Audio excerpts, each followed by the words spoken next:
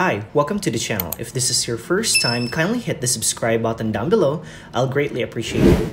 In this video, I'll show you how to do spot trading on OKX Exchange as a beginner. OKX Exchange is a cryptocurrency platform that provides medium for trading various cryptocurrencies. Some of Exchange core features include spot and derivative trading. By the way, if you haven't signed up on OKX Exchange, see video description for the sign up link to register.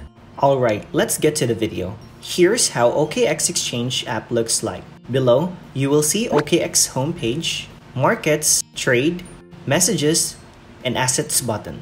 With OKX mobile app, you can swap tokens to one another easily. Just go to OKX home and tap on convert tab here. Select the token you want to convert here. Let's say I have USDT. Next is select the token that you want to get let me choose ADA or Cardano. Now, input the amount you want to convert. If you are okay with the conversion, just tap on Convert button. However, if you want to get better liquidity and more value from your tokens, you do spot trading. Spot trades allow you to trade assets immediately in the market based on your set price. To do spot trading, go to Trade button, select Trading Pair by clicking this icon. Make sure you are under Spot tab. You can search on the search bar or scroll down to look for the token. Let me search for ADA slash USDT. Let me show you first how to buy token. Make sure you're under Buy tab. Keep it under Limit Order. A limit order allows you to set the exact price you want to buy and sell at. When the order is placed, your bid or offer will be added to the order book. Once the price is triggered, it will be automatically executed. This red section shows the sell orders, and this green section shows the buy orders. And the middle part will be the current token price. Input the buy price here, and the amount you want to buy. You can use this to adjust easily the amount you want to trade. Under, you will see your available balance you can trade. Once you are decided, just click on Buy button. Below, you will see your open orders. Let's try a different token. Let me look for Luna slash USDT.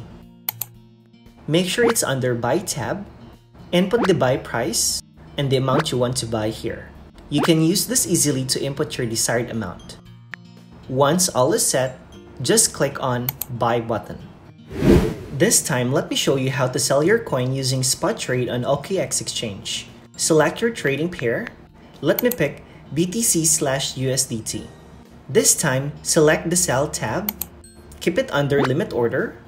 Here, you input the sell price and the amount of token you want to sell.